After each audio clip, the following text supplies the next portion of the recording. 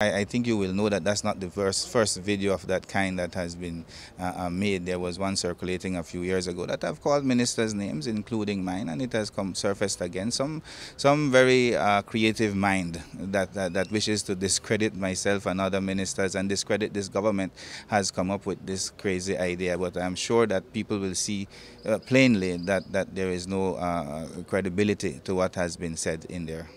Do you suspect the involvement of John McAfee in this video?